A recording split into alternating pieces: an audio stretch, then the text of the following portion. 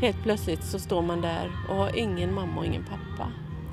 De som har varit liksom, ja om det är någonting så, ja jag ringer och kollar med mamma eller jag kollar med pappa. Första natten så, vi, jag tror inte jag sov mycket, jag bara grät och grät hela natten. Jag, för tillfället då så höll de på att renovera min lägenhet så jag bodde i en väldigt liten lägenhet.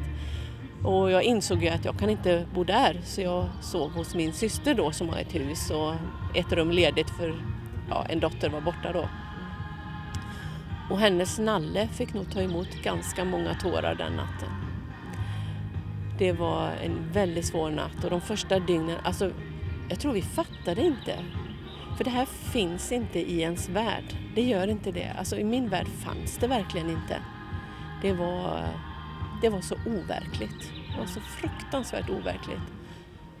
Och hur, sen så greps ju de här männen sen då, mm. några månader senare och då så drar det ju igång, de är rättegång och sådana saker. Mm. Hur var det? Hur var den situationen? Mm. Man kan nog säga att de första åtta månaderna efter att det här hade hänt var en enda stor väntan eftersom rättegången kom först i juni förra året. Mm. När jag var här på Nyhem förra året då hade vi precis avslutat rättegången och jag var helt slut. Alltså, det är en jättemärklig känsla det också faktiskt att sitta mitt emot några personer som, ja, kanske, eller med stor sannolikhet har dödat mina föräldrar. Det är jättekonstigt. Ja, vad är den känslan? Vad, vad, vad går igenom huvudet då? Jag vet inte.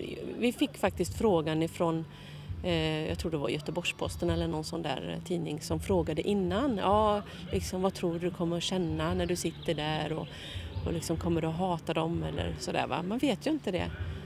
Men jag tror att det mesta jag kände var en stor sorg. För jag tänker att deras liv, även om de nu har själva gjort eh, sig skyldiga till att förstöra det, så är det ändå på många sätt förstört. Mm. Speciellt den ene då som hade familj med en nyfödd liten bebis och an, tre andra barn. Alltså jag, jag ofta, alltså det är klart att man är ja, man är lite, jag vet inte, arg kanske är fel ord men det är fruktansvärt att man kan göra något sånt. Och samtidigt kan jag känna en sorg för deras skull. För att, jag menar de, ja det är ju för, förstört för dem också på något sätt. Det är ju, ja, det är liksom, det är olyckligt fruktansvärt. Men spontant ska man kanske känna att där, i det läget då sitter man där och hatar. De har tagit ifrån en något av det viktigaste man har i livet. Mm. Alltså att man känner, men, det var, men, men när jag lyssnar på dig så låter det inte så. Jag tänker, hur, hur mår jag själv om jag börjar hata? Liksom, är det ett gott alternativ? Jag vet inte riktigt, för vi, redan från första början så pratade vi systrar, vi är fyra systrar. Vi pratar om vad är det som för oss vidare?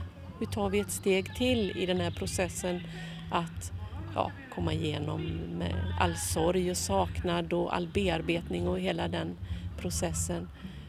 Och då, då har jag tänkt så många gånger att ja, men hatet kommer bara att låsa fast mig och binda mig på något sätt. Och därför så tror jag inte att det är en bra en bra väg och sen kan det ju låta bra att säga så mm.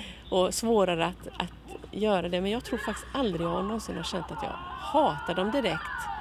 Eh, nej, det är för mycket. Jag kanske, och det, det är kanske för mycket känsla i det. Eller vad ska jag säga, jag har nog mest känt mig trött inför att tänka på dem eller jag vet inte. Det är svårt att exakt precisera vad man känner faktiskt. Nu sitter vi, vi har ju här i bakgrunden, vi sitter på en kristen konferens, mm. Nyhemsveckan utanför mm. Mullsjö. Eh, och du är ju här faktiskt för att prata om förlåtelse. Mm. Och då undrar jag, kan man förlåta en sån här sak? Än en gång så måste jag säga, vad är alternativet? Ska jag välja att inte förlåta? Liksom, vad händer med mig då? Och så tänker jag också, vi ber i bönen Fader vår, förlåt oss våra skulder liksom vi också har förlåtit dem som står i skuld till oss. Och jag säger inte att det är lätt, för det är det inte.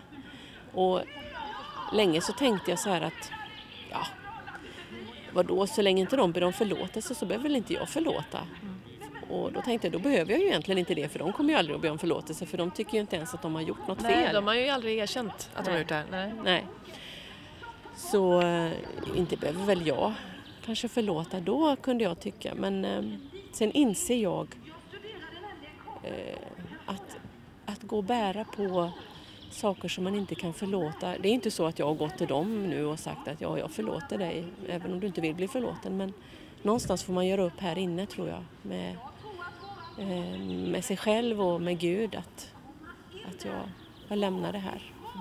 Jag kan förlåta